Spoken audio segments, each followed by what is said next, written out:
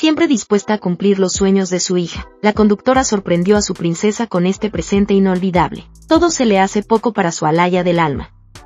Por eso, cada vez que tiene la oportunidad de estar con ella y brindarle sus sueños, Adamari López lo hace con todo el amor de madre. Este lunes estrena Desiguales, su nuevo proyecto televisivo también para Univisión, que vuelve a conectar su parte más humana y femenina con la audiencia. Pero antes, tenía que sorprender a su hija con algo que le hacía demasiada ilusión.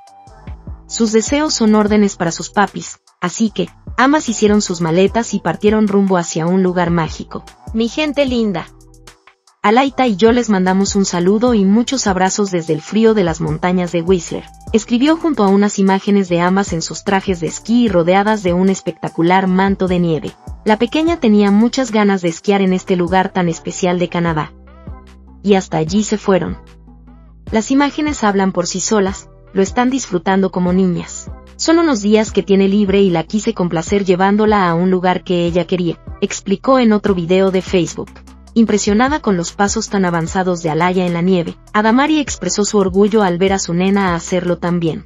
Mi princesa Alaya me dejó muy sorprendida, vean que bien lo hizo, me siento muy orgullosa de ella, explicó la presentadora.